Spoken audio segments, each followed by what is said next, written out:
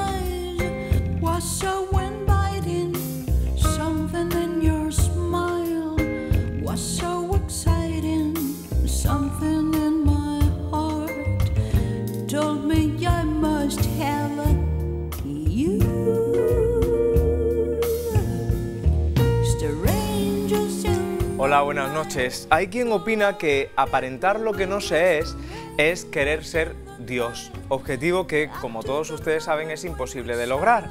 Sin embargo, vivimos constantemente condicionados por nuestro exterior y por la opinión de, otros y por esa razón suelen mantenerse relaciones sentimentales que de otra manera se hubieran roto antes, se viste o se actúa como se espera de nosotros porque eh, por una posición social determinada está bien visto o se participa en según qué actividades para no ir en desintonía con el resto.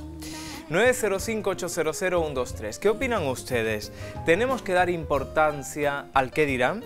Hemos de ser cautos con la fachada y, eh, o quizá deberíamos ser más coherentes con nosotros mismos y en general unir lo que somos de verdad con lo que mostramos. 905-800-123 es el teléfono de Extraños en la Noche donde hoy martes volvemos a, ponernos en marcha para compartir estas madrugadas nuestras en las que puede pasar de todo y donde eh, para ustedes tenemos sorpresas reservadas como nuestro recorrido termal en aire de Sevilla. Un pequeño tesoro de nuestra ciudad en el que gracias al poder purificador del agua habrá un antes y un después en nuestra vida, una experiencia que no deben perderse y que está al alcance de su mano con solo una llamada, un mensaje en el contestador o un eh, mensaje en el correo electrónico. Comienza eh, nuestro tiempo, bienvenidos a Girar la Televisión, la televisión de Sevilla. Para participar en Extraños en la Noche, puedes llamar al 905-800-123.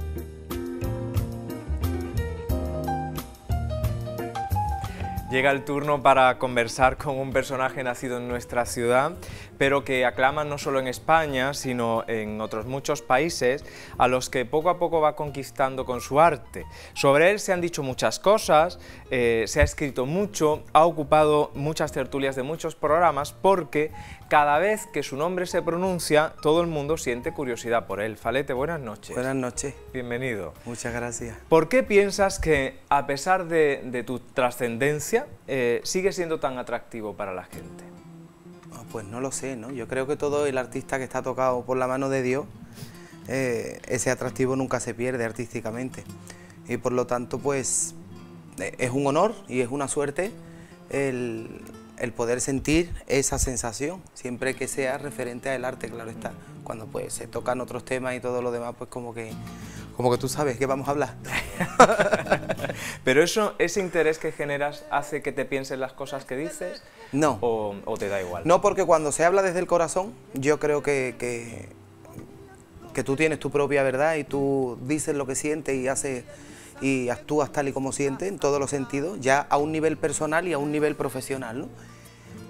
Y no, y es algo que, que no, o sea, yo soy de una opinión, yo soy de esa forma de ser, y lo digo tal y como lo siento, lo hago tal y como lo siento, cuando hago algo que he visto que he metido la pata, pido perdón, porque rectificar es de sabio y, y en mi educación y en los principios de mi familia, eso es algo que está muy a la orden del día, y ya está, pero tampoco me gusta tener ningún doble, ¿no? O sea, yo no, yo tengo esta cara gorda que está ahí todo el mundo viendo aquí, y esta cara gorda es la que vaya a ver hasta después de que me muera. Mucho menos gorda, porque has perdido 30 pues kilos. y frente al que dirán, ¿cómo te posicionas? Ay, como, como, que me da igual. Totalmente, ¿no? Es el tema de hoy, ¿verdad? En vuestro programa. Por eso, por eso te lo pregunto. Eh, me da lo mismo. Nunca he vivido con el que dirán y tampoco he vivido diciendo cosas de nadie. Por lo tanto, es algo que no va ni en mis principios, ni en mi vida, ni irá nunca. ¿Te gustaría saber qué es lo que opinan, eh, al menos Sevilla, los sevillanos sobre ti? Pues sí, claro que sí. Sí, me gusta, eso me gusta saberlo. Vamos a prestar Es mi atención, porque si a los sevillanos se les pregunta sobre Falete, sucede esto. Solo con este sobre y esta foto vamos a saber lo que opinan los sevillanos de nuestro invitado de hoy, Falete. A verlo. Me encanta, me encanta. Y además se le ha hecho mucho daño, ¿eh? Se le ha hecho mucho daño y me da mucha pena porque es un pedazo de artista. Y no cuidamos lo, lo- lo bueno que tenemos. Si perdiera, un- si perdiera unos kilitos, pues mira, no estaría de más.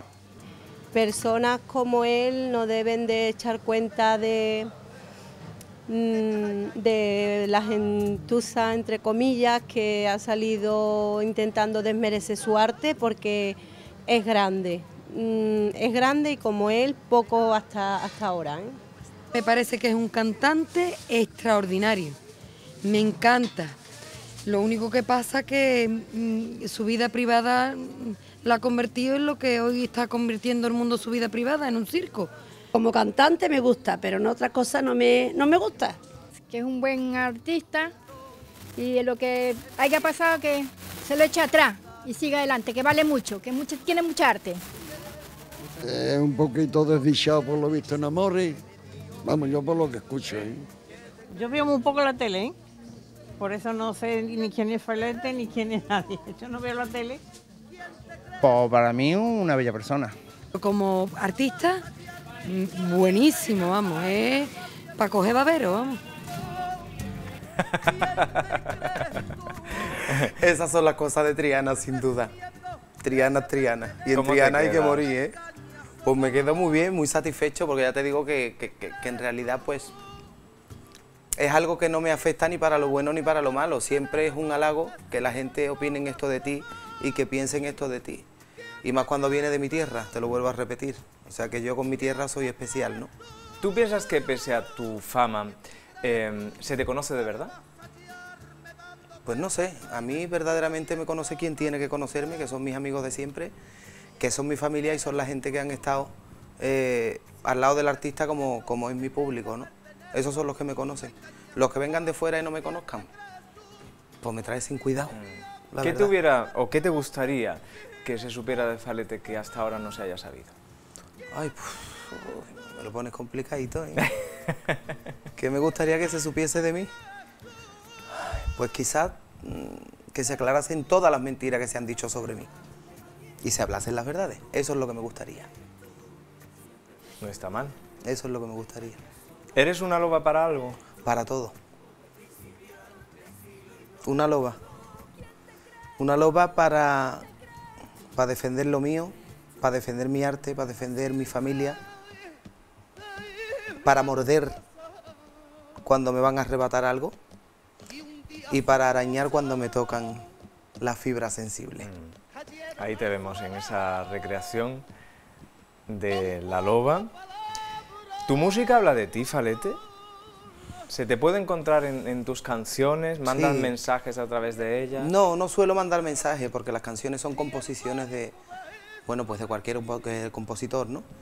Pero sí me gusta interpretarlas y, y sí hay canciones en las que, en las que te, te encuentras, ¿no? Y en las que te sientes un poco más identificado, pues porque cuenta, la historia cuenta algo que tiene algo que ver con tu vida, entonces tú lo llevas y lo transportas a tu terreno y te hace can- hacerla cantar mucho más fácil. La interpretación siempre es más fácil cuando la letra tú la lees y te recuerda a algo o a alguien.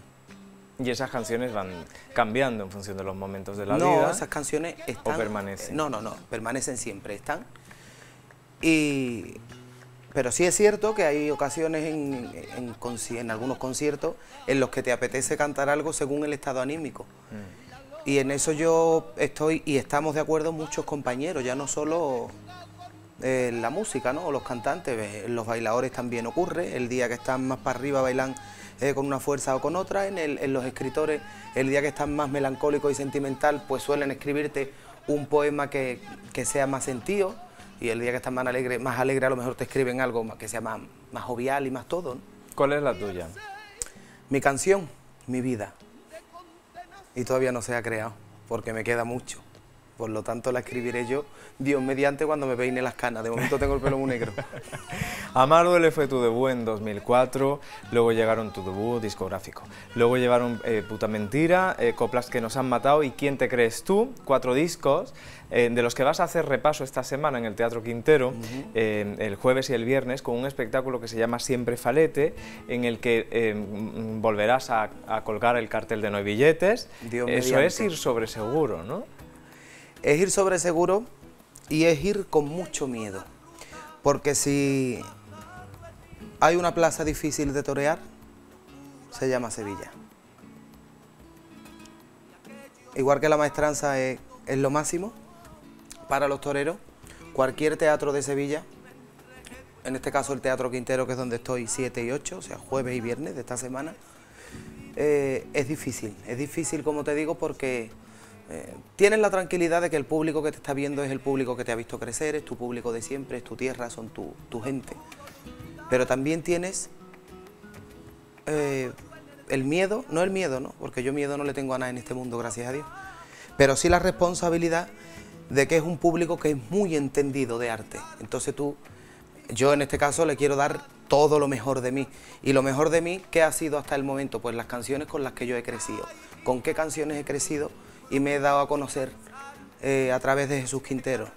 Con Lo siento mi amor, Tengo miedo, Payaso, SOS, Teatro, bueno, infinidades, ¿no? Que ya todos conocéis.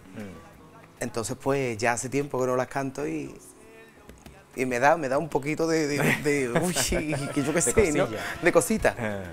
Pero bueno, con muchísimas ganas. Y sé a ciencia cierta que, que, bueno, que el teatro va a estar a reventar, como la vez anterior estuvo esos cuatro días, en el ciclo de copla ese que se hizo.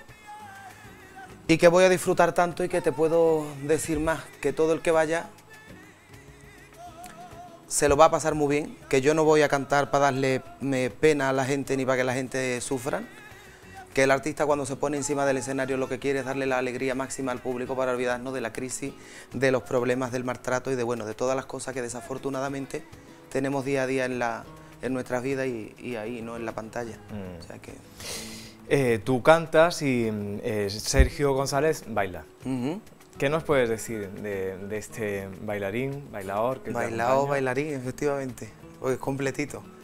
¿Qué puedo decir de Sergio? Pues mira, Sergio es un artista que es joven y no es conocido y yo tengo mucha consideración con todo aquel que lo merece.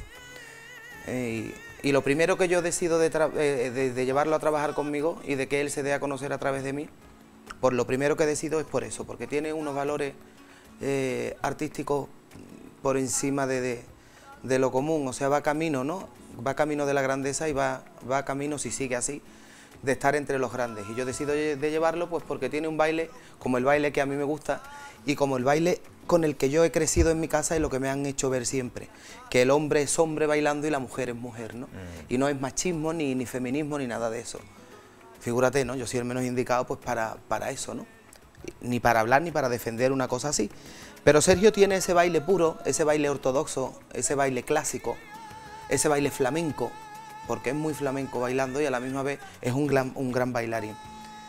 Y decido de, de- de- de llevarlo y que haga el espectáculo conmigo, pues simplemente por eso, porque considero que muy prontito Sergio González va a, estar, va a ser sonado en muchos sitios y después me va a costar muy caro llevarlo a un espectáculo. Digo, Es que bueno, pues solamente entonces- tiene 21 años. claro, digo, bueno, pues entonces que se venga ahora porque este niño va a dar que hablar. 21 años, Sergio González, nos acercamos a su perfil y enseguida regresamos al plato. Sergio González nació en Sevilla hace 21 años. Desde muy niño se ha sentido atraído por el mundo del baile. Con tan solo 5 añitos empezó a recibir clases en la Academia de Carmen Montiel y a los 7 ya estudiaba en el Conservatorio Profesional de Danza de Sevilla. Ha pasado por el Centro Andaluz de Danza, ha colaborado con el Ballet Nacional y formado parte de la compañía de Aida Gómez. Su amplia trayectoria ha hecho que sea bailaor y bailarín, ya que baila tanto danza contemporánea como clásica, escuela bolera o flamenco, como demostró el pasado año durante seis meses en Japón, en el famoso tablao flamenco de Tokio. Su forma de bailar es una mezcla de todo lo que ha aprendido en el camino que ha recorrido para convertirse en un gran artista. Un camino que el destino hizo que se cruzara con el de Falete, con el que compartirá escenario en sus próximos conciertos. algo que llena de orgullo a Sergio. Para mí participar en el espectáculo de Falete es un orgullo, ¿no? Porque participar en el espectáculo de un artista tan grande como Falete eh, a mí me llena de emoción, ¿no? Para mí es otra etapa más de mi vida, donde estoy aprendiendo muchísimo con él, donde, donde cada día aprendo ya no solo cosas artísticamente, sino personal, ¿no? porque es una persona con una trayectoria grandísima, donde me da unos consejos y donde creo que cuida mucho, ¿no? Creo no, sé que cuida mucho por, mí, ¿no? Como, como artista y como persona. Dame tu mano sin temor. ¿Cuándo fue ese cruce de caminos del que hablaba mm, el vídeo? Pues ese cruce de camino ha venido, viene ya de hace tiempo. Y donde yo decidí de, hablar ya con él y de preguntarle, porque me dio mucha alegría de verlo después de, estar, porque él ha estado seis meses trabajando en Japón, ha estado girando por allí.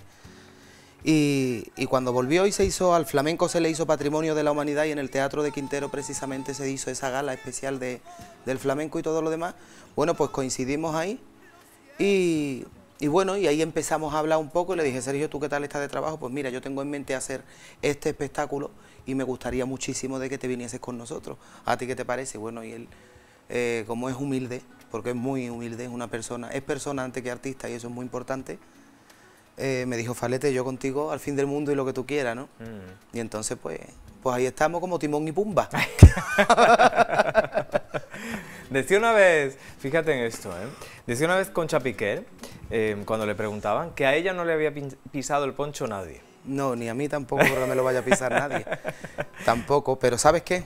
Que yo soy muy compañero de mis compañeros, pero en el escenario quiero rivales tan fuertes como yo, porque a mí eso me hacen superarme. Y al público, cuando, cuando habemos dos artistas eh, con un potencial importante, como es el caso de Sergio, en este caso conmigo, en el, en el escenario, es tanto ese 100% que hay veces hasta que rebasamos el 100%, ¿no? Y ya cuando rebasas ese 100%, el público se pone loco. Y el público verdaderamente paga una entrada, pues para ver eso, ¿no? Para que le des el máximo.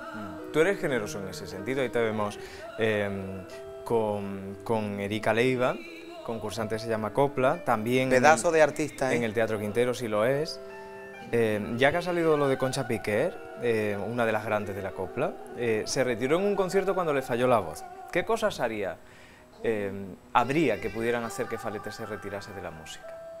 Pues eso, que me fallase la voz, una enfermedad, pero nada más, o sea, a mí nada ni nadie me retiraría nunca de, de algo que con lo que yo he nacido, ¿no? Porque yo no he sido nunca un producto de marketing y por lo tanto mmm, no es algo que yo haya adquirido, ni con el tiempo, ni con los años, ni que me lo hayan impuesto. Yo creo que, que mi padre, que está en gloria, cuando, cuando me engendró, cuando me estaba haciendo,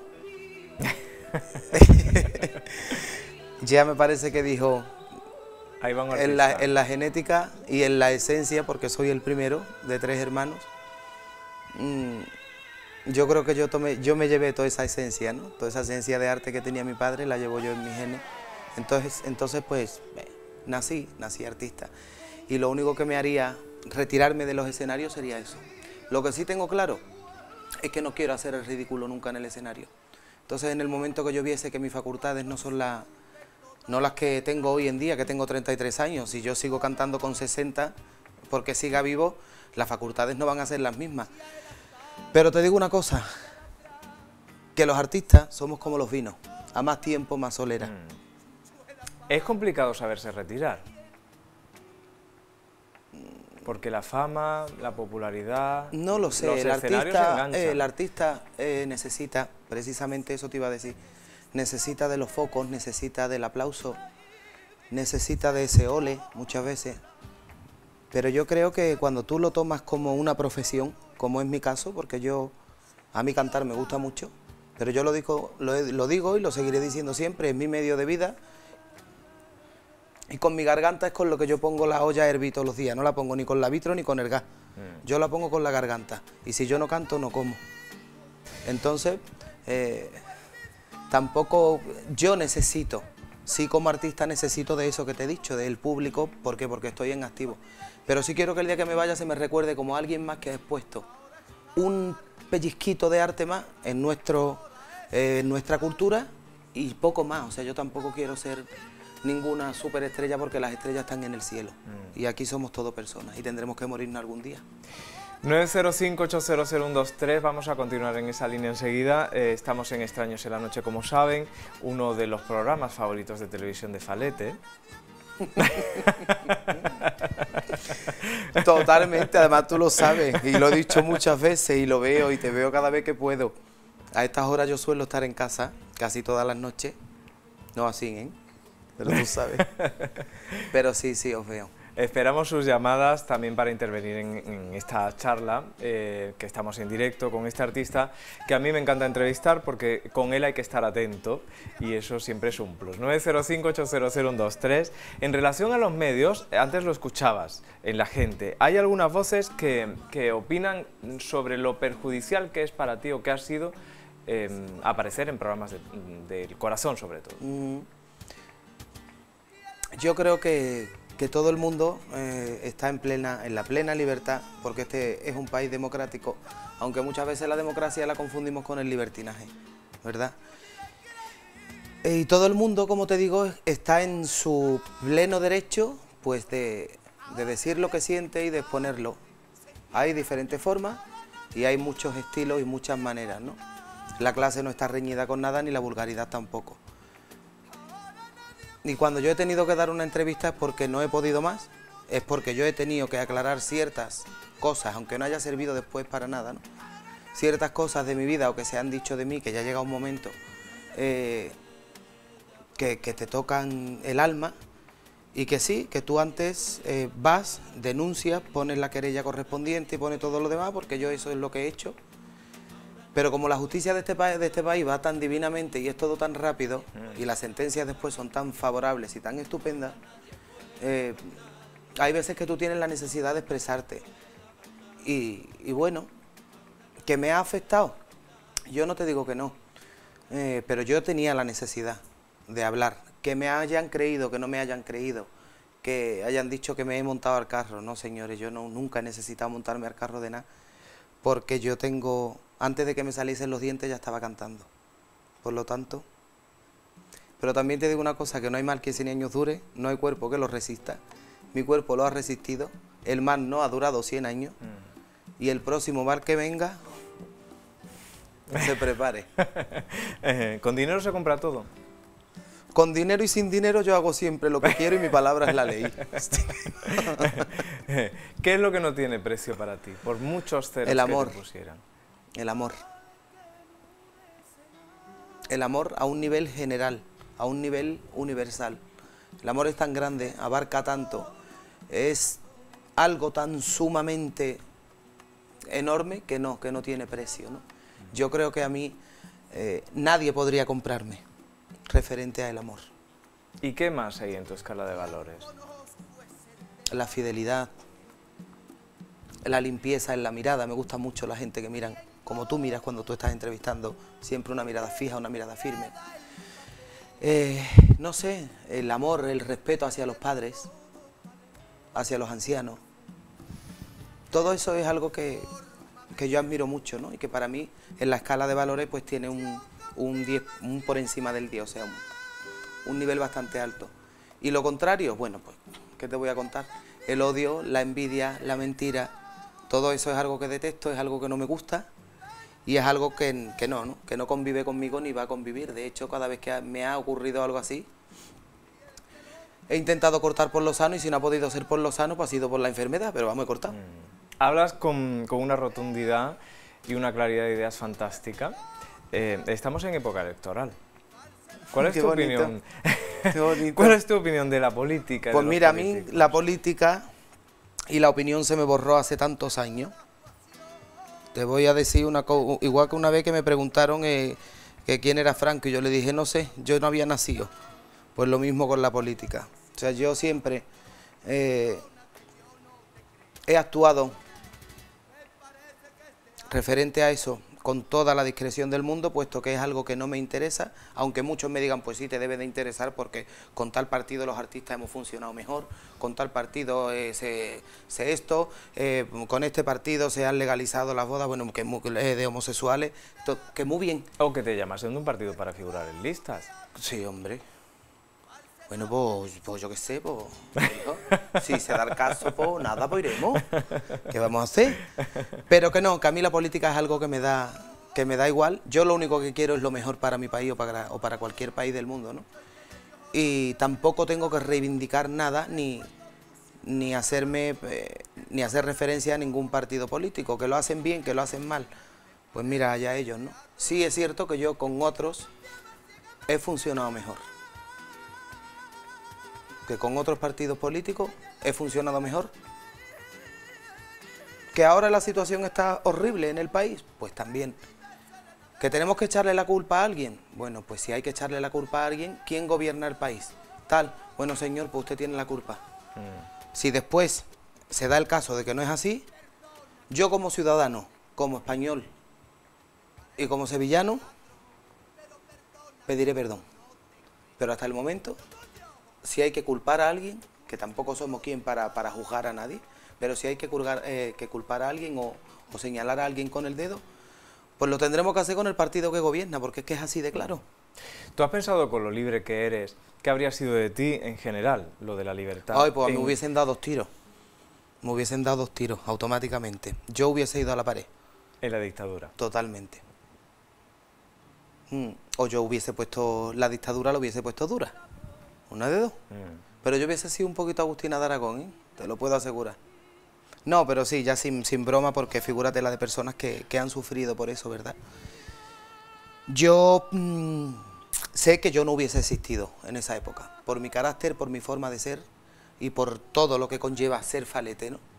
Yo no, yo no hubiese... A mí no me hubiesen exiliado, a mí me hubiesen pegado directamente dos tiros, me hubiesen fusilado. Mm. Lo tengo claro. Hay algunos países aún en los que hay dictaduras, en, Hispanoamérica en concreto, por donde viajas tú mucho. Eh, no es el caso de Argentina. No, gracias a Dios. en, el lugar, eh, en un lugar donde te han recibido con los brazos abiertos, en México también. ¿Te has sentido más respetado allí que en España? No, no. Pero sí me he sentido eh, grande y me he sentido... Pues, eso es Argentina.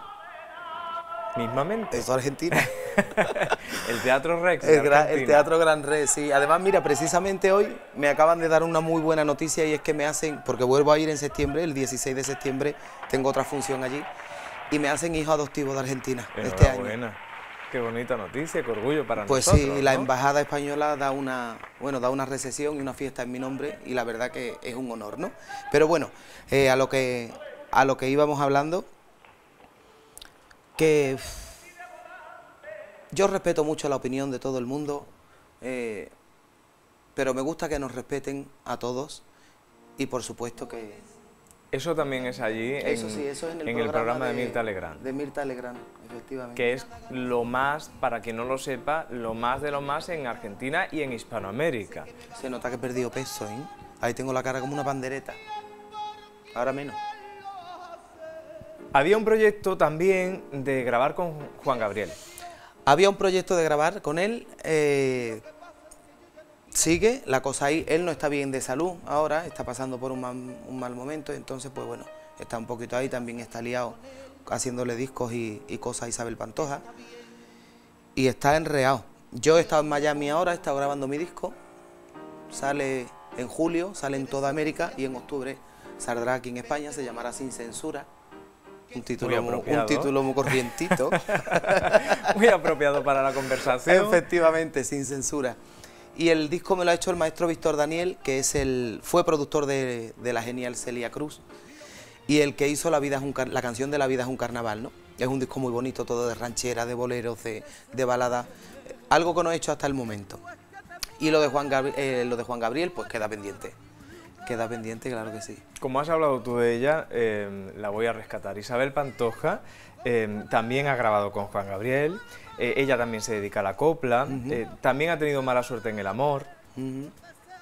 Son muchas coincidencias. Bueno. ¿Y quién, no, tiene, ¿y quién no tiene mala suerte en el amor? A mí lo que me da coraje es que nada más que se habla de la pantoja en este país. Y no para bien, sino para mal. Y cuando le dan por mí, pues de mí, ¿no? Entonces eso te molesta bastante. ¿Hay una maldición sobre las folclóricas y, y lo sentimental?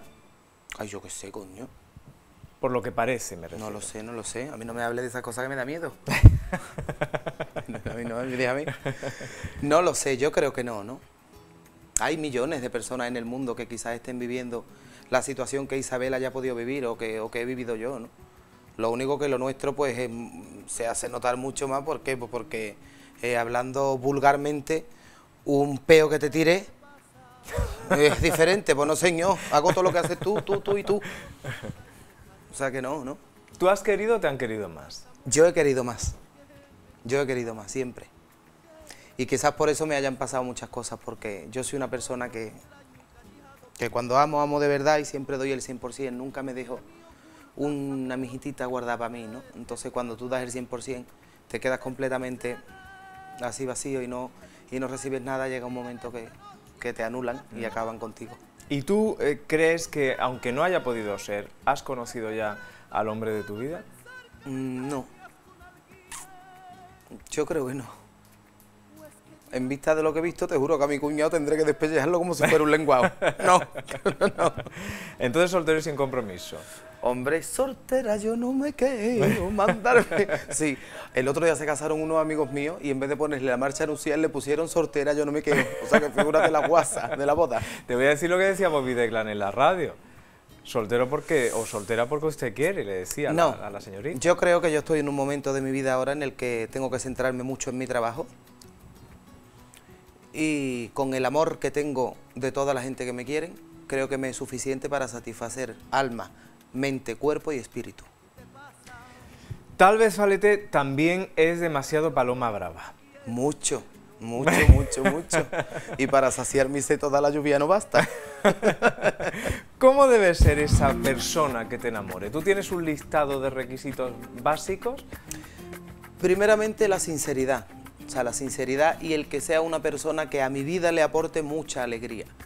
¿Por qué? Porque pena, como te, te he comentado antes al principio de la entrevista, pena eh, vemos mucha todos los días. Al cabo de, de- todas las horas del día nos enteramos nada más que de cosas tristes y malas y malas. Entonces a mí la persona que me enamora eh, o que me puede enamorar es una persona que le guste mucho sonreír, que sea muy simpático, que se ría hasta de su sombra, no de nadie, pero sí que, que mire la vida y que tenga un concepto de la vida, eh, bueno, que tenga la seriedad cuando deba de tenerla, pero que sea eso, ¿no? Que le guste mucho un cachondeo como me gusta a mí, la verdad. Esas son las personas que a mí me enamoran y que a mí me aportan.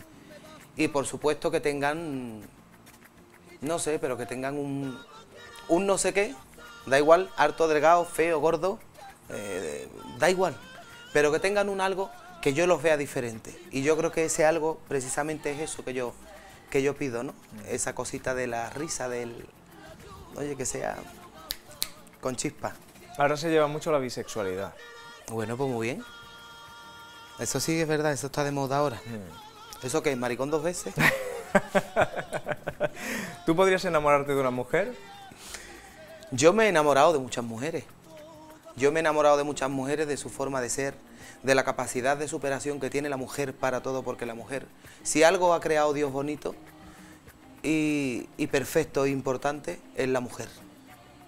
Es la mujer. Yo soy muy, soy muy feminista en ese sentido por todo eso, ¿no? Por la capacidad de, de superación que tiene la mujer, por los reaños que le planta a cualquier eh, problema, eh, por, por todo, por todo en general, ¿no? Pero me he enamorado en ese sentido, en el sentido de la grandeza que la mujer tiene. Eh, enamorarme del físico de, una mujer o de o tener, sentir atracción eh, sexual hacia alguna mujer, no. Eso no sería nunca en la vida. Sería nunca en la vida porque el bollicao es para otra gente, para mí no. El sentido del humor, ya lo ven. Tú me entiendes. Es importantísimo. eh, Que me parece perfecto, cuidado, ¿verdad? Sí. O sea que todo el Todo es respetable. No, no, no, súper respetable. Aparte yo, figúrate, o sea, yo no sería el más idóneo para hablar de eso, ¿no? Pero no, no, no me gusta, a mí me gusta un hombre. Y mañana me gustará un hombre. Y yo creo que cuando me muera y me reencarne en lo que sea, en una cosa de esta mismo. ¿Te pues gustará el también macho? me gustará el macho de La eso. flor macho. Eso es. Vamos a poner más sonrisas. En esta cita con, con Falete, Rafael Ojeda Rojas, tu auténtico nombre. Eh, ¿Hay mucha diferencia entre uno y otro? No, nada. El número de DNI. y de pasaporte. Solamente. Nada más. Pero cuando te subes al escenario Soy falete. y cuando bajas, Soy falete. ¿Eso es ir de artista todo el día? No, o, o- es, o eres- nacer, es nacer artista. Es nacer, no es ir. El que nace artista se muere siendo artista y el que va de artista termina muriéndose. 905-800-123. Eh, les recuerdo nuestra línea antes de, de llegar al final de este primer tramo de Extraños en la Noche, donde estamos recordándoles a todos ustedes que Falete actúa el jueves y el viernes en el Teatro Quintero y donde espero que estén conociendo un poquito mejor aún de lo que ya te conocemos a nuestro invitado. Eh, alguien que no sea Milán ante nada, eh, a pesar de cantar muchas veces tengo miedo, vamos a unir los miedos al humor Venga. que, que está ahí rondando y a ver qué sucede. Miedo y humor. Y falete.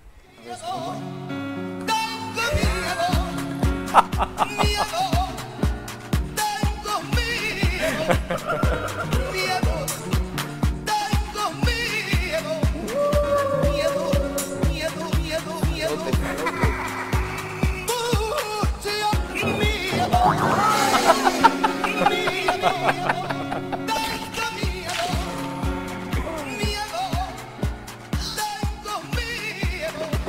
lo habías visto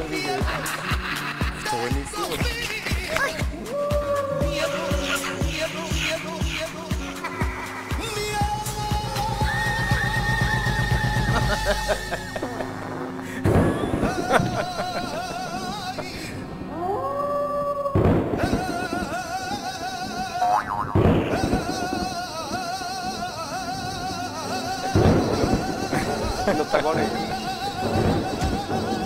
Toma.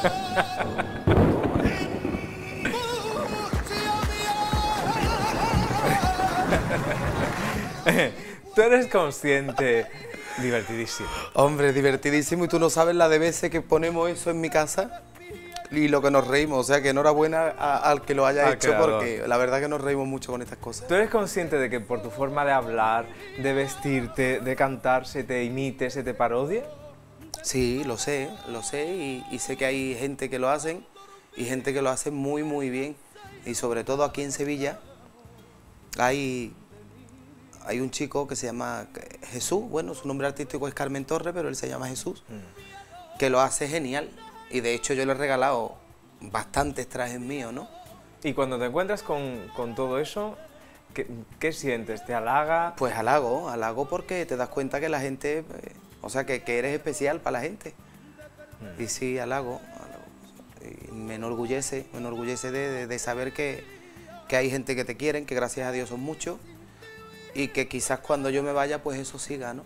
Lo que supongo debe ser un poco molesto son las persecuciones de la prensa. Pues sí, son jodidas, molestas no jodidas.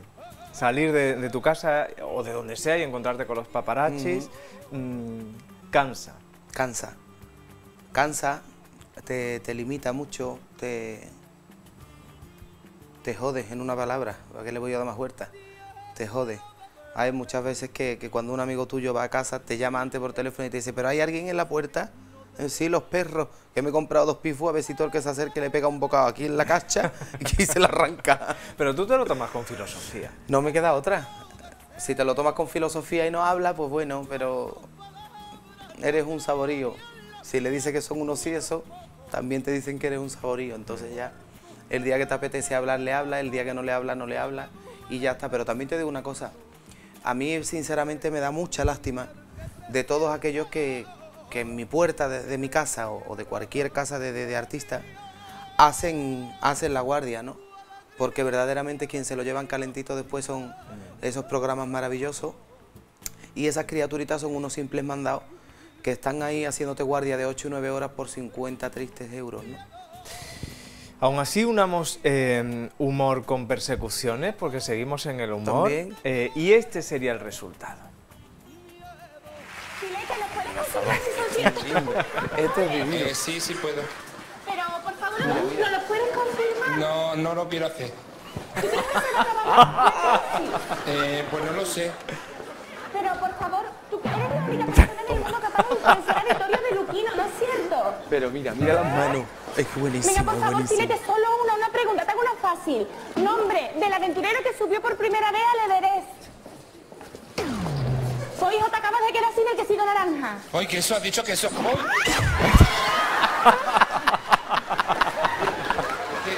Mira, ya me, ya me ha roto una yangarraca, me ha roto, hija. Ñangarraca, una ñangarraca, ella. Esto es una, una broma que hizo eh, Florentino Fernández. Eh, estupendo. Eh, pero tampoco se diferencia tanto de la realidad. ¿Tú crees? Me refiero en, en lo que es la puesta en escena. No, no, la puesta en escena es genial. Es maravillosa, o sea, no, no. Olvídate, ¿no? Cuando llegan las cámaras es más o menos así. Pff, Más o menos. No siempre. Pero sí, sí, es así. Es así. Cuando le dan por agobiarte, te agobian y se te ponen delante y tú le dices, mira, o te quita o te piso. Comprobémoslo. Pero déjame andar. Hagamos la comparativa entre esto que acabamos de ver y otra escena similar protagonizada por el propio Falete. A la izquierda, eh, Florentino, eh, Falete con eh, la periodista y a la derecha tú. Yo de verdad, yo Sí, de sí, verdad. ¿Tú de verdad? Eso fue una cosa que se hizo para el intermedio, el programa de- del Wyoming. Y nos reímos muchísimo al llegar a la estación y, a encontrar, y al encontrarnos a esta, esta. A esta reportera le puse yo Juana de Utrera. Esta es Juanita de Utrera que es maravillosa. El caso es que podríamos pasar muchas horas contigo, eh, pero casi casi tenemos que despedir. ¿Ya? Sí, yo creo que sí. No, pues yo estoy muy a gusto aquí. Yo no me Y quiero yo ir. también. Yo no me quiero ir. Vamos a atender entonces a alguna persona que nos ha llamado al 905-800-123 para charlar contigo, amigas, como Charo. Hola, buenas noches. Buenas noches, Ricardo. Está la charola de la copla. Aquí la tienes en esta cámara. Charito, ¿qué pasa? Pues nada, deseando que llegue el viernes para ver el espectáculo que te desea todos los éxitos del mundo. Muchas gracias, mi vida. Yo sé que estando vosotros al lado mía como estáis siempre para todo, para lo bueno y para lo malo es mucho más fácil. Siempre, siempre. Charo Ricardo, es alguien que que conoce muy bien a. Falete y que tal vez podría contar... eh, No, ella está diciendo, Ricardo, dile que te cuente, que te cuente Ah, el que que guasa. cuente qué. Eh, aquella tarde que me invitó a merendar, aquella merienda fatídica. Sí, cuéntalo tú, Por- bonita. por- por seguir, por seguir un Ah, poquito fatídica. la nota de humor. No, porque, porque yo le digo, Charo, vamos a tomar café, vente para mi casa. Y si ella se viene para mi casa, como habitualmente hacemos nuestra reunión de amigas y de amigos. pero ese día estábamos ella y yo nada más en casa y el marido de ella estaba también por allí, pero bueno, en la cocina ella y yo digo, te voy a hacer unas tortitas de esas que nos comemos muchas veces ahí en este sitio, este gran almacén. De los crepes. Eso. Tortilla de crepes. Bueno, continúa tú la historia, que la gracia la tiene tú. Continúala. que cogió ese aparato del demonio, que yo le digo la, la turmis, y se me reó con la turmis cuando yo le dije que has cogido. Esto es un aparato del demonio, porque yo tenía un mal recuerdo con la turmis desde pequeña, porque me había cortado un dedo. Y él se enreó y entonces se le cayó todo, los perros viniendo se lo comieron todo. O sea, tu figura de ellos Se haciendo. comieron la merienda, las tortitas, se lo comieron todo. Y después el café. Y después dice, voy a hacerte el café. Es un gran cocinero, pero haciendo el café es el más malo del mundo. Me dice, "Eh, el café de Falete es agua carabaña, Aguachirri, aguachirri. aguachirri. Y me dice, pásate a la salita que te voy a poner el café. Alguien lo llamaría al teléfono que se me puso nervioso y el café hirviendo en la pierna. O sea que me lo tiró todo. Bueno, se le cayó. ¿Y al final qué merendaste? Nada, nada. Nada, no merendamos Nada. nada. Pues si no había alfalfa a tortitas, no había café. Nos fuimos a la alfalfa merienda. Ella misma te lo ha dicho, te lo iba a decir. Yo te iba a decir, a última hora me vestí y le dije, Charo, vámonos a la calle, que hoy la cosa está fatal. Se me cayó la masa de hacer las tortitas, de hacer los crepes. Los perros se volvieron locos. Mis tres perros se liaron con esas lengüitas que tienen así. Se lo comieron todo. Hago el café, el café feísimo y malísimo, como dice ella. Pero yo no tengo la culpa guapa, la culpa la tiene la máquina, porque la es la que lo hace, yo no. Y, Y me sonó el teléfono, de estas veces que, bueno, me llamó alguien y pegué un bote para coger el teléfono y le tiré el café encima a la, a la muchacha también. O sea que fue una tarde de merienda de Y como desastre. esas muchísimas, eh, porque compartís muchas cosas Mucho, juntos, mucho. eh, Mucho, muchos mucho. momentos. Eh, Charo, muchísimas gracias por llamar. Hay eh, Gracias más personas que quieren participar.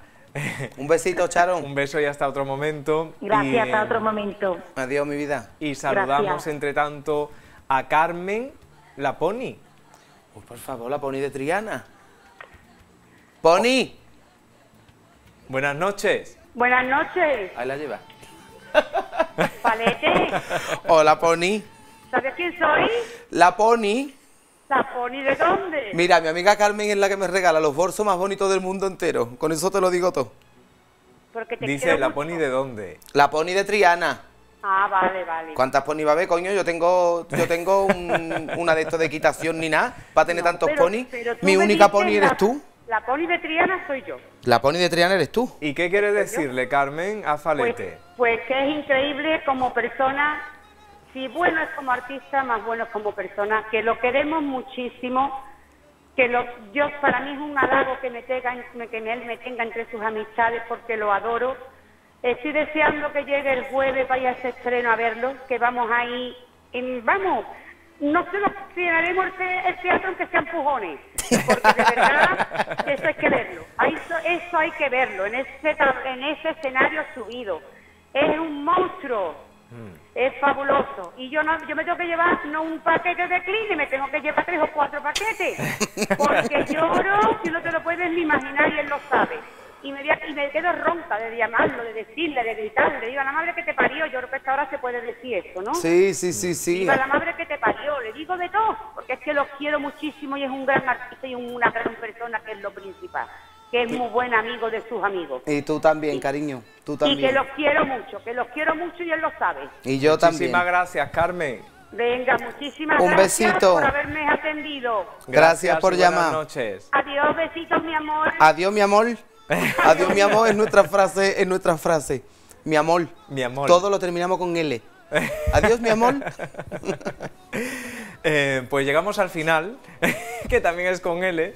Al final. Eh, ¿Vale? Ahora sí que sí. Pues vale. Eh, agradeciéndote, como siempre, que, que nos hayas atendido a esta que es tu casa, eh, que, que seas tan generoso en, en- en- en general, igual que, que decía Carmen, como artista y como, como persona, con tus compañeros y con la prensa también, y con el público sobre todo, que yo sé que para ti es lo más importante. Hay, hay personas que, que merecen, no mi generosidad, sino cualquier, la, la generosidad de cualquier ser humano.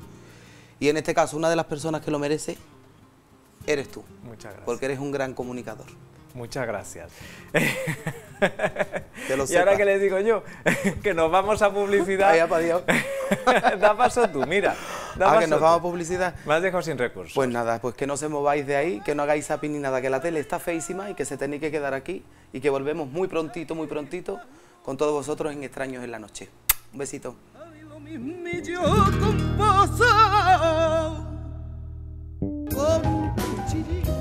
Para participar en Extraños en la Noche, puedes llamar al 905-800-123. También puedes mandar un email a